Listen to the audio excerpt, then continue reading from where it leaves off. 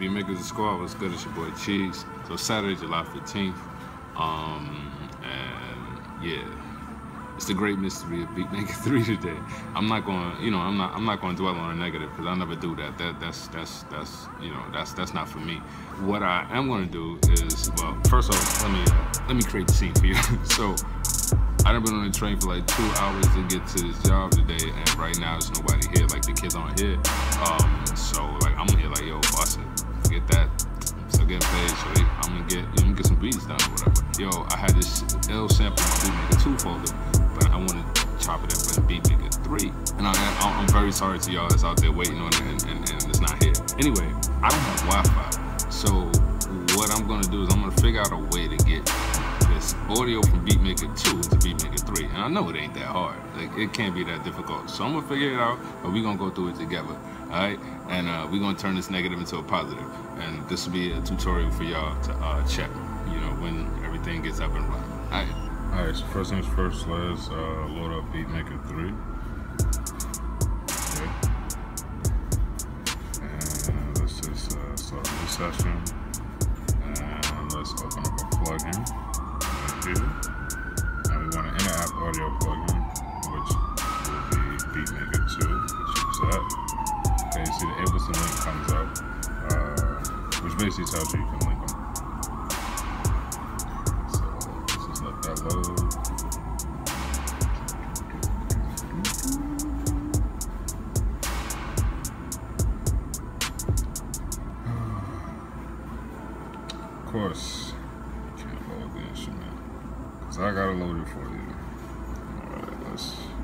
Out. Beatmaker 2. Uh, yeah, last autosave.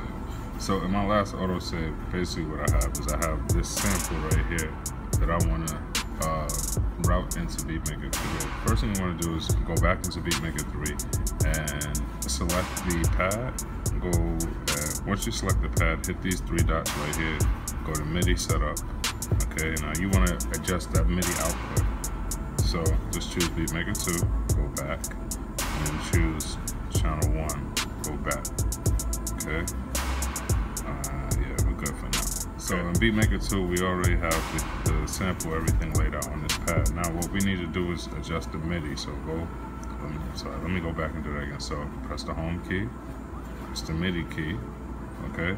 Now mine is already set up, but so it's set up to receive MIDI on channel one and output MIDI on no channels. Because what happens when I had I had originally I had it on channel one, I ended up with a MIDI feedback loop. Um, but once I turned it to none, it was fine.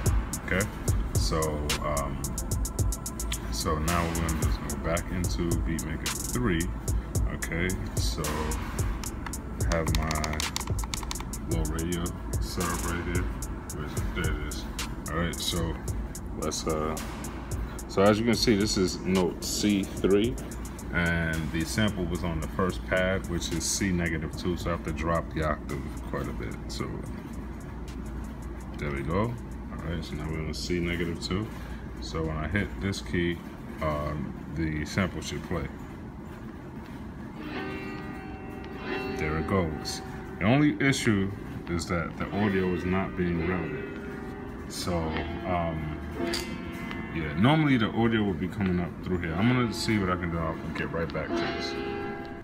All right, so I'm back. I had to actually restart my iPad. So what I'm gonna do is I'm gonna drop this threshold down to zero, and when I and I'm gonna hit start right here. So basically what that does is it tells the sampler to start sampling whenever any sound comes in that is above that blue arrow. As I drop it all the way to the bottom because the sample itself starts off really low. Uh, so I'm just gonna hit C2 here. And as you can see, it's recording. So it's recording the audio from Beatmaker 2 into Beatmaker 3, which will allow me to do, you know, just a little bit more because Beatmaker 3 has a few more options. All right. So, okay, so the sample just finished recording. So what I'm to do is I'm just hit the recording button so it'll stop. Okay. Uh, I'm to press this here. Okay. Now, actually, wait, let's take a look at something else. Something I could have done.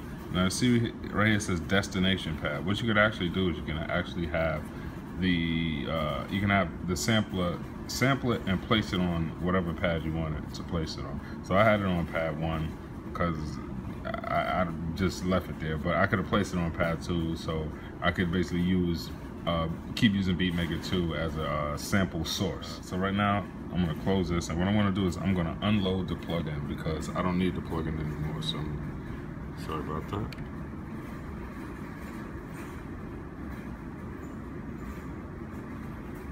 Okay, so now there's no plugin there.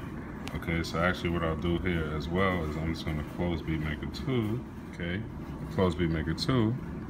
So now here's the sampler, and you can see the sample is right there. Let's hit edit, so we can hear the sample.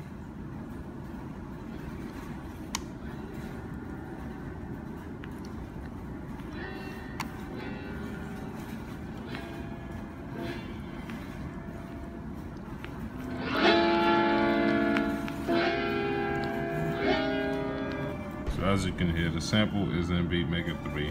Um, did not import it. I did it the old-fashioned way. I taped it. so uh, yeah, you know. But anyway, um, yeah, I hope this is beneficial to you, and I hope that it, you know, that it works out for you, and that whenever BeatMaker 3 does drop, that you can use this tutorial. All right, y'all. Peace.